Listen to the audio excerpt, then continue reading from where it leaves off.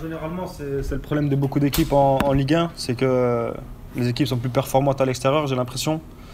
Euh, après, je sais pas, euh, à domicile, peut-être qu'il y a, il y a une, on, a un peu peur, je sais pas, je sais pas comment l'expliquer. Après, euh, après c'est vrai que les supporters attendent beaucoup, donc peut-être que c'est aussi, ça qui fait les choses. Après, on sait que le terrain n'est pas aussi évident pour pratiquer du jeu.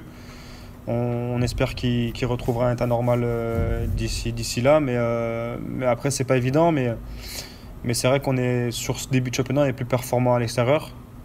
Donc euh, à nous après de, mettre les ingrédients pour, qu'à domicile on puisse, être performant comme on est à l'extérieur et surtout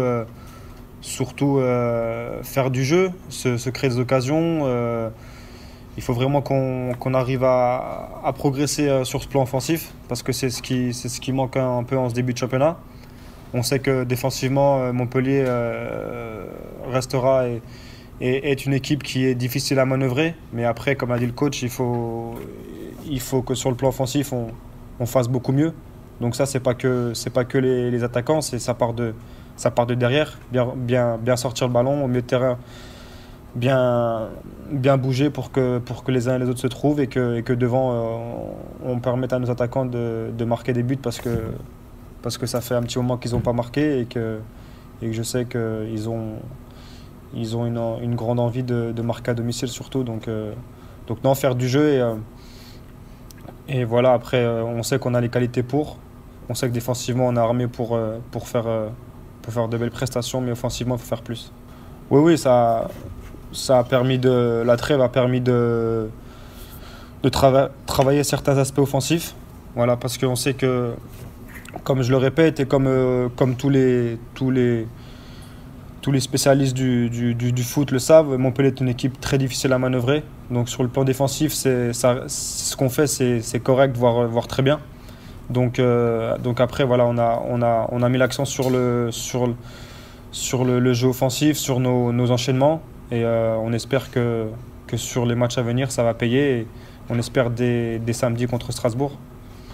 Ouais, ouais, moi je, j'aborde. C'est vrai que j'ai le premier match contre Etienne à domicile, je l'ai abordé sereinement. J'ai pas plus de, de, pression que ça.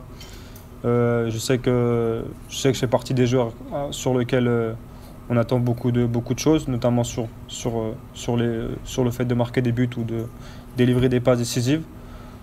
Donc, euh, donc non, non, non. Après moi, à domicile, euh, j'ai fait qu'un match, donc euh, je ne connais pas encore l'engouement qu'il peut y avoir.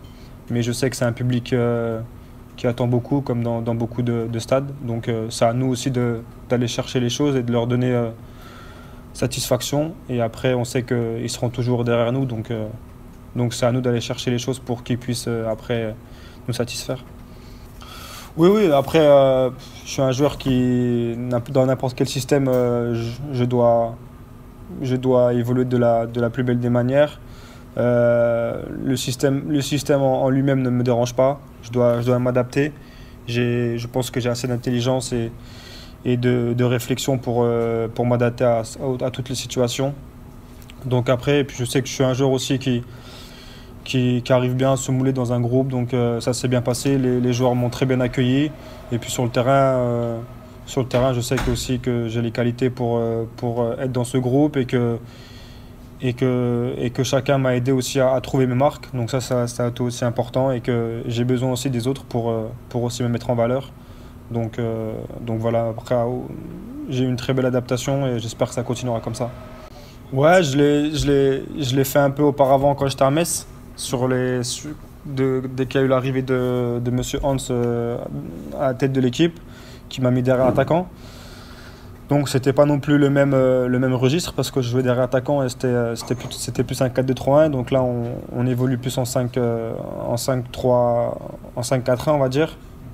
Donc donc c'est pas pareil mais mais je m'y sens bien. De toute façon je sais tout le monde le sait. moi je sais que je suis meilleur quand j'évolue dans l'axe c'est là que mes qualités peuvent plus euh, ressortir. Donc, euh, donc je m'y sens bien. Après, euh, que ça soit en, en, position numéro 10 ou en position numéro 8, ça ne me dérange pas. Je travaille pour l'équipe. J'aime bien, j'aime bien avoir ce volume de jeu qui, qui me permet d'être bien dans les matchs et de pouvoir, de pouvoir courir. Ça, j'aime ça. Donc, donc après, que, que je sois en 10 ou en 8, ce n'est pas, pas le plus important. Le plus important, c'est d'être au service de l'équipe. C'est ce que j'essaie de faire le mieux possible.